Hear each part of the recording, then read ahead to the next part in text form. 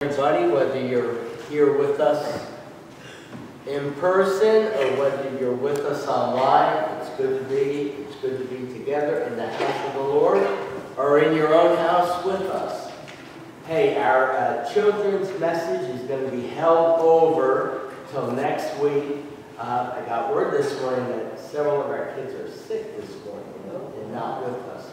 We have a special kids message and we're going to hold that over till next week. Amen. And now we have, uh, it's time for our announcements. We have our uh, Good Neighbor Outreach Meeting uh, with St. Vincent de Paul and with Calvary Church uh, this Tuesday, uh, this Tuesday morning, 10 a.m. here at Asbury. All are welcome.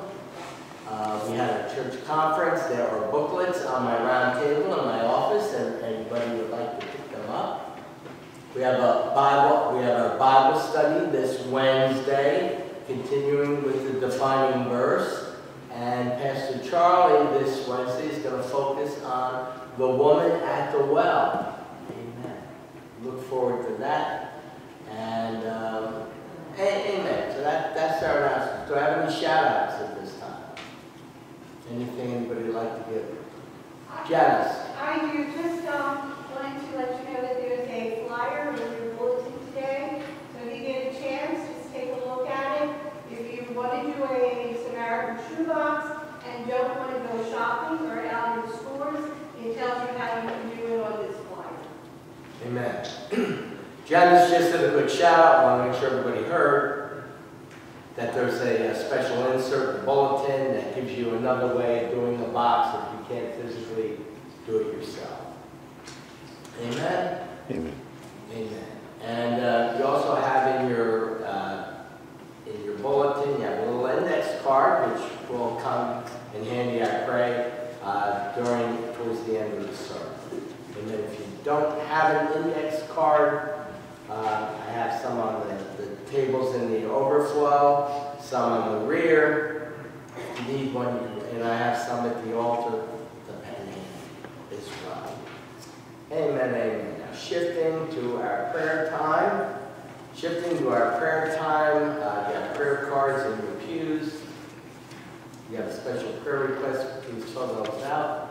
You may place them in the offering plate, and uh, they'll be prayed for during the week. Have many prayer needs. We thank God that they came came home from the hospital yesterday. Many prayer needs, many prayer concerns, many serious needs, many unspoken needs in and beyond our local church.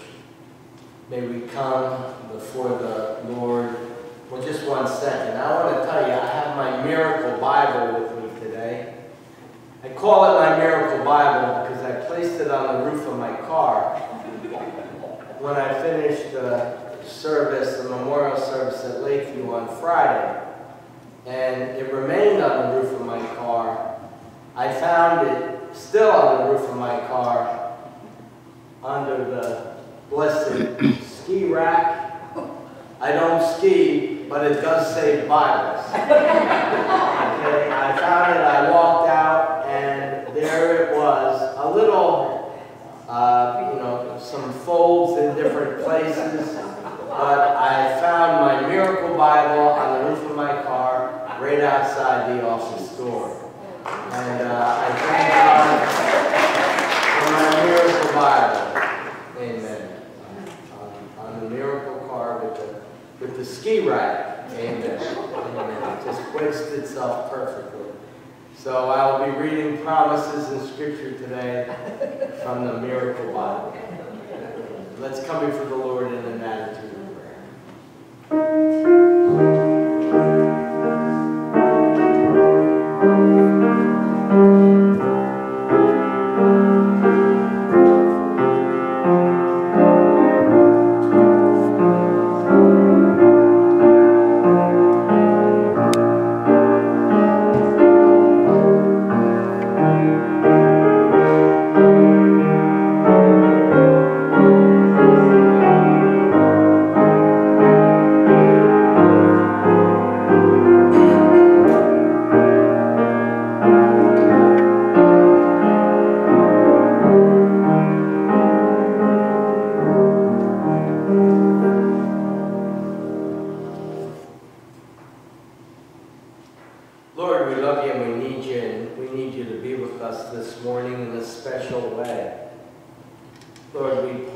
right now.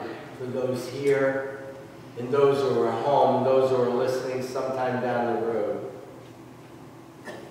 for any special needs and requests that we would like to bring before you right now in the silence, in this special time.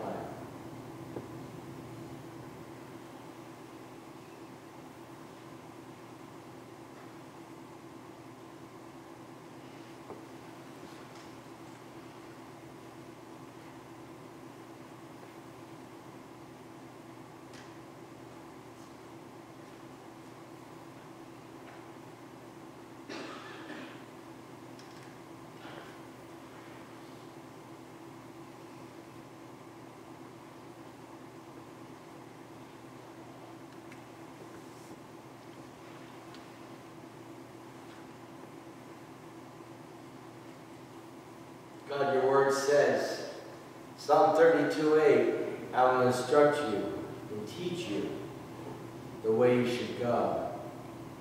I will counsel you with my eye upon you. Lord, help us to pay attention to your leading, to your counsel, Lord, and to your guidance. We pray this in your name. I will lift up mine eyes unto the hills, from whence comes my help. My help comes from the Lord, who made heaven and earth. If anyone sin, we have an advocate with the Father, Jesus Christ the righteous. And he is the perfect offering for our sins. Not for our sins only, but for the sins of the whole world. Lord, we thank you for the forgiveness of sins. We thank you for the new life which you offer each of us. Help us to walk in this forgiveness and in this new life which you give to each of us. We love you and we need you, Lord. We pray for our church.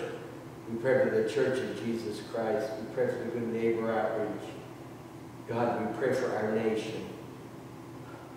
Lord, have mercy. We love you and we need you, Lord. Pray for our president and vice president. We pray for our Bishop John, for our D.S. Hector. We love you and we need you, Lord. And in this special time again, we, we pray for unspoken needs in and beyond our church. You pray for the Shanahan family, particularly for Lloyd. We thank God that you have brought him safely home. We pray for Lawrence and Idell, for Dick and Nancy, for Gwen for continuing prayers, for special needs, for Joe Riker, Lord, for Michael Graff, for Linda, Marianne, Shirley, Sharon, Natalie, Richard Sweeta, Carl, Harold and Reverend Harold and Thelma, Naomi, Pat and Joe, Barry and Neva, Peg and Red, again for our good neighbor neighbors, particularly Ed and Brian and Idell. Lord, have your hand upon us. And Lord, we're going to learn about a, a special man in the Bible. His name is Joshua this morning. He was facing so many challenges. And Lord, in our lives, we face challenges as well. And God, we just ask in your name that you have your hand upon us, God. And that you lead us and guide us. And that you help us to pay attention to you, what you're doing, and you're leading and guiding in our lives. Again, just we pause again for any special needs that need to be lifted up before you.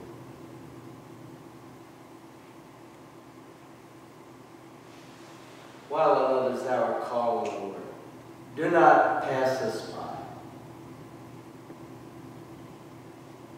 Lord Jesus, and as you have taught us, we pray together. Our Father, who art in heaven, hallowed be thy name. Thy kingdom come, thy will be done, on earth as it is in heaven. Give us this day our daily bread, and forgive us our trespasses, as we forgive those